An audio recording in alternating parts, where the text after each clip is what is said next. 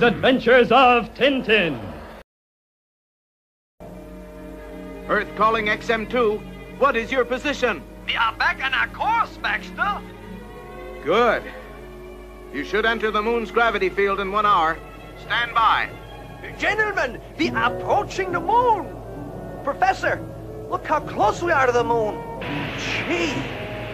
Professor, I don't see the experimental rocket. It is supposed to be in orbit around the moon.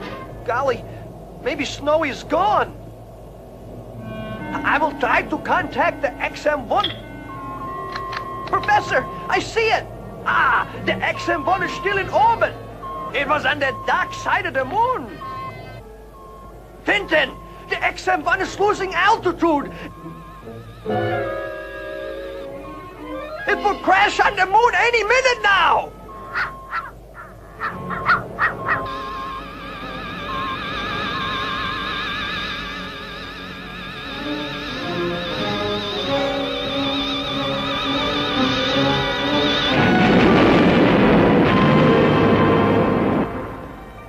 Professor, the XM1 must have crashed.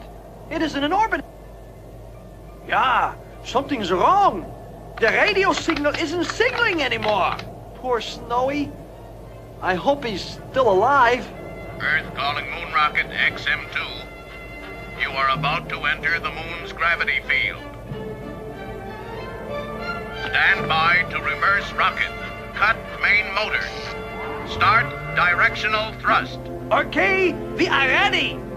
Here goes.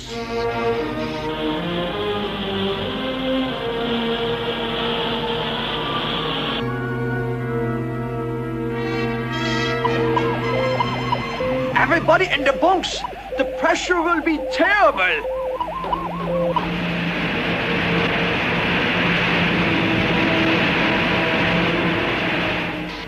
XM2 to Earth.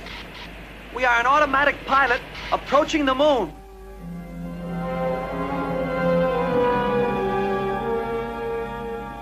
The pressure is frightening.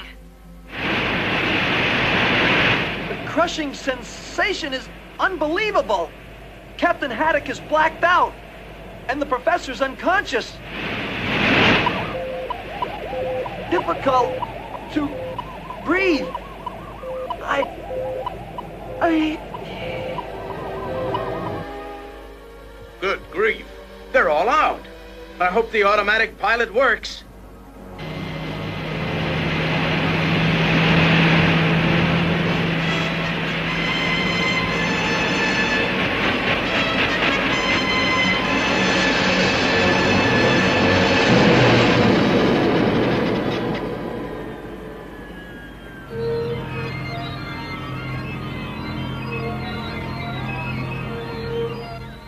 Keep calling.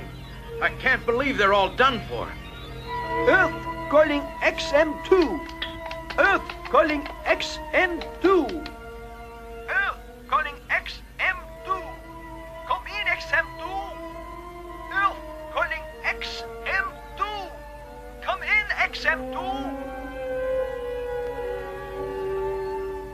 XM2, Tintin calling Earth. We have landed on the moon. They made it! They made it! How about that landing on the moon? Watch for the next series of Hergé's Adventures of Tintin.